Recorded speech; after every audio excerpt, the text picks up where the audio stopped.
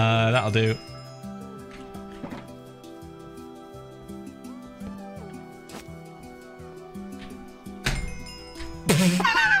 Hello, Father. I am here to celebrate my 17 months.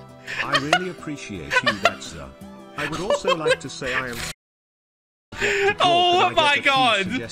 Oh my god!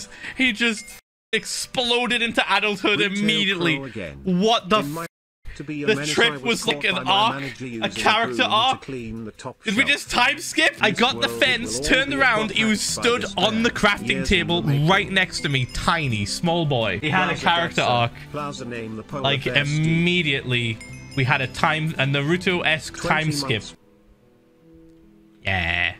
I'm out.